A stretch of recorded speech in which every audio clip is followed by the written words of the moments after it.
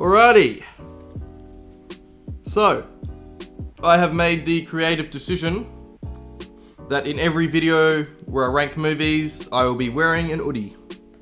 So enjoy that, I guess. Let's be real for a second here. The MCU, it's not that great. It's 23 or 24 or however many there are of the most generic, formulaic superhero movies you will see. A lot of these are boring cash grabs, it's the same thing as the last movie, just done in a slightly different way. In saying that though, these are huge. You cannot help but respect what they are doing over there at Marvel, so good job I guess. And I really like a lot of these movies. Some of them are really rewatchable. In fact, me and my partner recently rewatched the MCU and I had a really fun time. So I guess you could say I have a bit of a love-hate relationship with the MCU. I'm gonna rank all the movies in the MCU from not worst to best, but with a tier list. So I'll be talking about them in order of release, starting with Iron Man and finishing with, of course, the recent Black Widow. So let's get into it.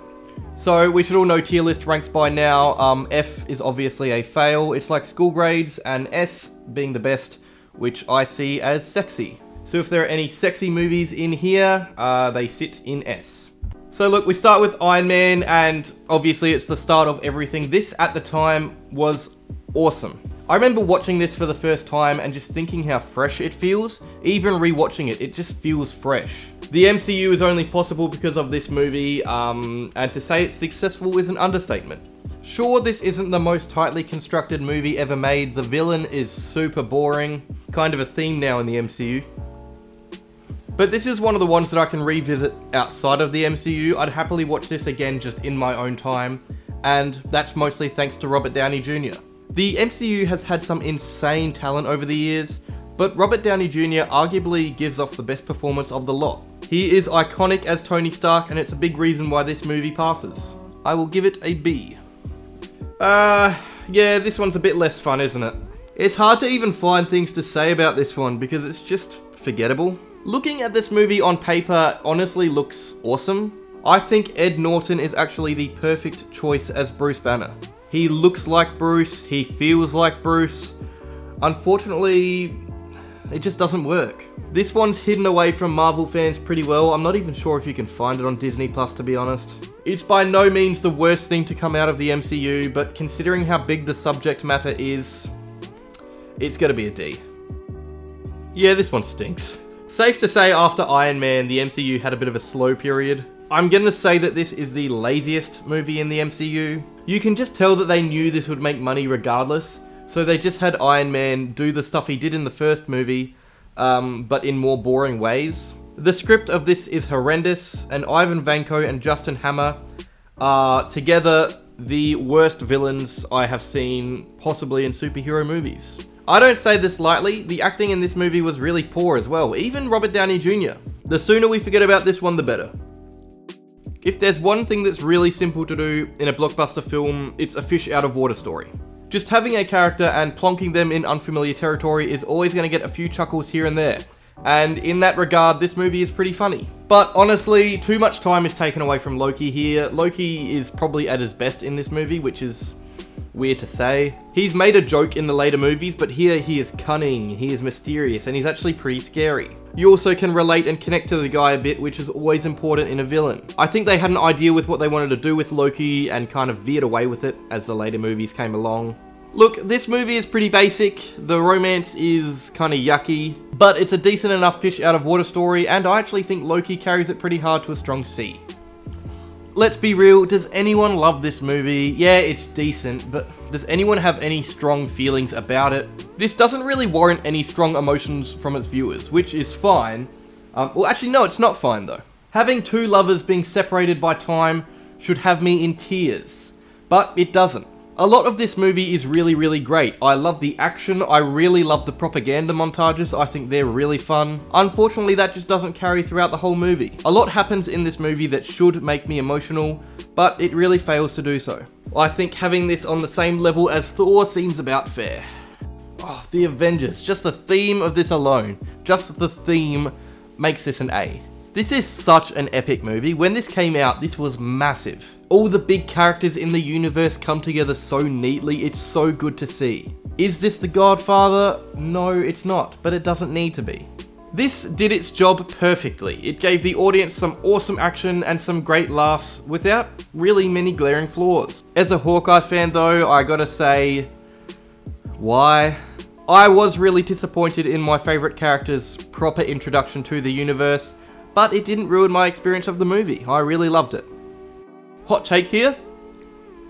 Iron Man 3 is actually pretty damn impressive. In fact, I actually prefer this to Iron Man 1. It deals with PTSD in such a genuine way, it's really cool to compare this to Avengers Endgame with Thor, and the way they kind of use PTSD as comic relief in that movie. PTSD is the major theme of this film. Tony Stark's PTSD hits you hard. Up to this point, we hadn't really seen a hero in the MCU made this vulnerable. It's amazing to see the mental struggles that these heroes face for the first time. This film does vary at times in tone, which is always going to be an issue with Marvel.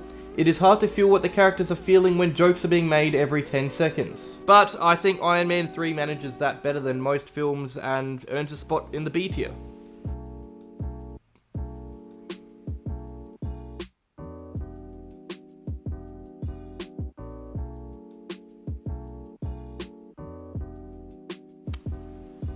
Moving on.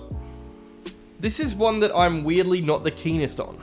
I know like 99% of people love this, but for me it just drags. This has some unreal action behind it though, and some real heart as well. You can't really watch this movie without feeling just a little bit towards Bucky and Captain America's relationship. But I wasn't the biggest fan of this big political conspiracy story. The conspiracy heavy plot just wasn't enough for me, I was just never really that invested. Just my opinion though. I know a lot of people love this one, but it only earns a C from me. How can you not love this movie? Honestly, up until this stage, the MCU was really getting pretty stale. Each movie was a different variation of the last, bad guy wants to destroy the planet, hero stops him, wow. But this is so fresh, so wild, it just works from the minute it starts. From the soundtrack to the characters who are expertly played, this movie just works. Its energy is unmatched from any MCU film, this is honestly my favourite of the lot. I'll be revisiting this one a lot through the years, it earns an S for sexy. This, however, is not sexy.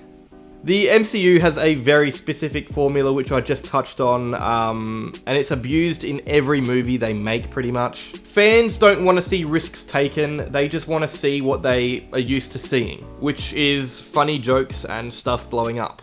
The very first scene in this movie perfectly demonstrates the MCU formula. I knew from the first 10 minutes of this thing that it was going to be a bore, and it was. Nothing about it intrigues me, which is sad because the trailers got me really hyped. No risks are taken, it is as predictable as anything, and a real disappointment.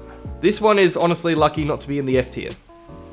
Alright, I really dislike Ant-Man, um, not as a character, but because he just always kills me at quiz nights. You'll get a question like, how many heroes have had their own solo movie in the MCU? And you always forget about this stupid little guy. Paul Rudd is fun as Scott Lang, but like, eh. Although I'd say it earns a pass in my book for its creative use of action. This is something that Marvel just always excel at, it just isn't interesting to see strong people punch each other like action movies provide. The MCU are really clever and creative, and the way they utilize everyday objects in some of these action scenes are really cool. So for me, that's enough to make it a C.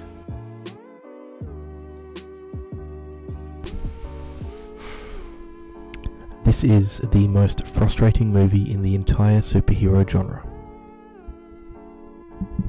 The fact that they take this intriguing story, ripe with promise and emotion, and turn it into two and a half hours of semi-enjoyable action and cringe, by far the biggest waste of a story. Seeing the Avengers fight each other should not be fun.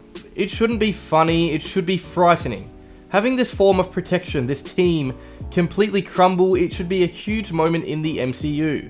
But it isn't because there are no stakes. We know everything will be okay, you even have these guys fighting off against each other and cracking jokes while doing so. It is so lame. The only reason this isn't an F is because Hawkeye doesn't get mind controlled.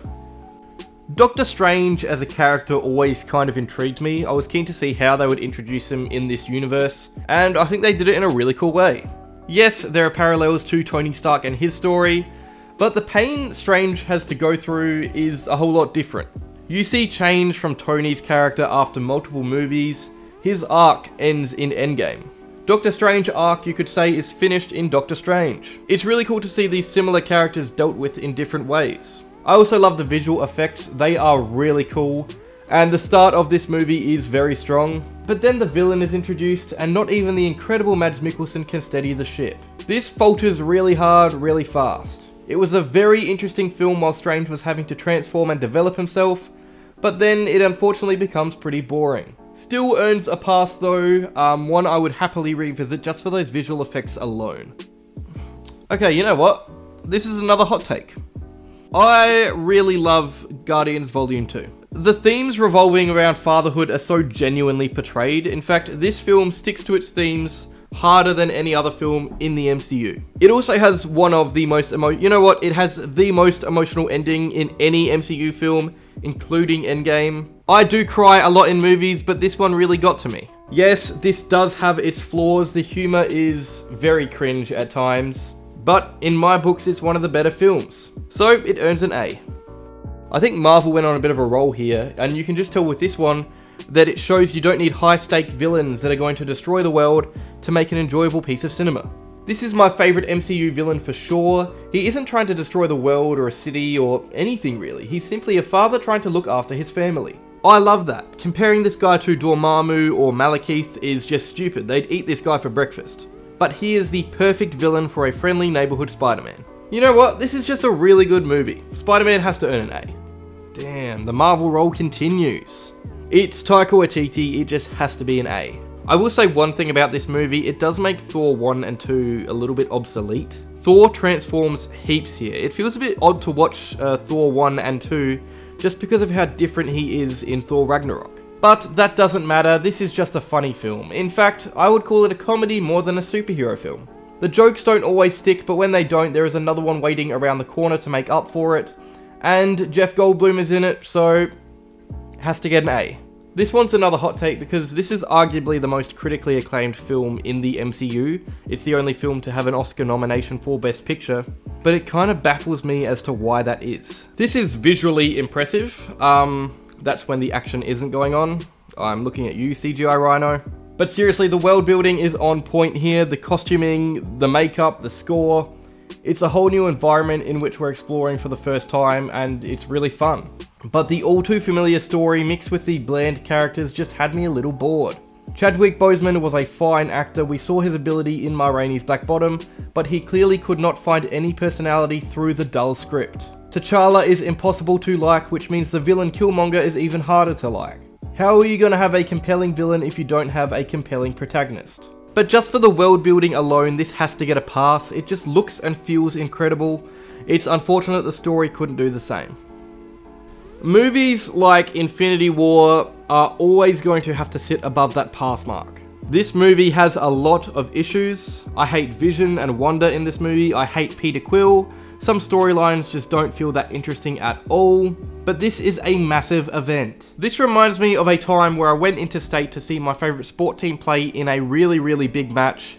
I got there, it was a huge spectacle, there were 100,000 people in the crowd, and my team got absolutely destroyed. I always look back on that time really fondly though, because even though I obviously didn't enjoy the event, the spectacle was just too grand not to appreciate. That is a similar story with Infinity War. This is not a perfect film, it is arguably not even that good, but it is eventful. This had so much hype around it, it was impossible not to get a bit stirred up while watching this. You won't get an event as inclusive as this movie and Endgame for a while.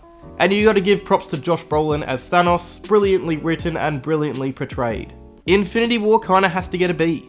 I love that we go from one of the biggest movies ever made to the Ant-Man sequel. This is small on a lot of scales. Why does this guy even get another movie? I know that it does tie into Endgame, but why did it have to be Ant-Man?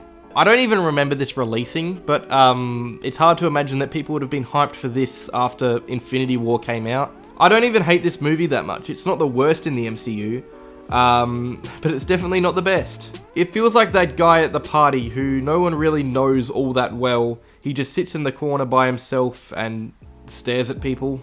That's Ant-Man and the Wasp.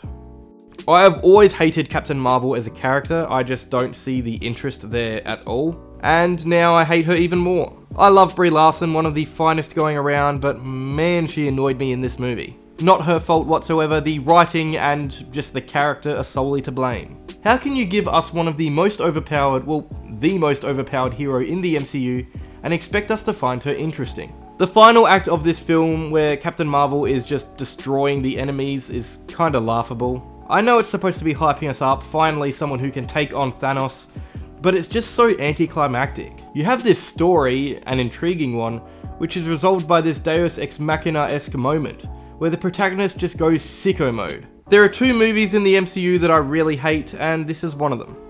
This is the most hyped movie ever made. And do you want to know why that is? Because Hawkeye's back, baby! Yeah! Hold up, hold up, wait up.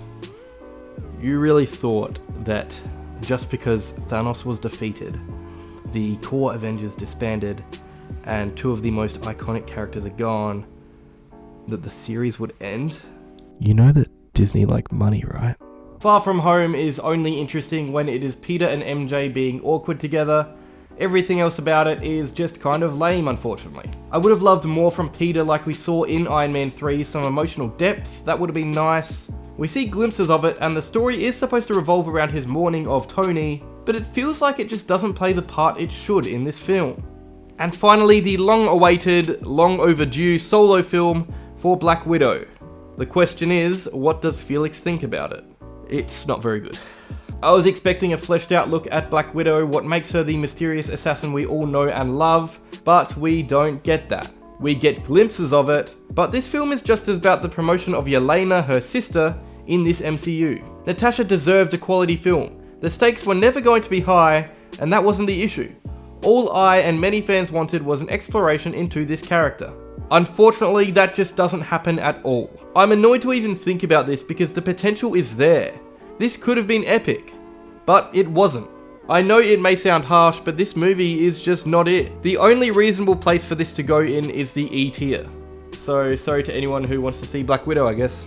So, that's that. That was all, however many MCU movies there are, ranked.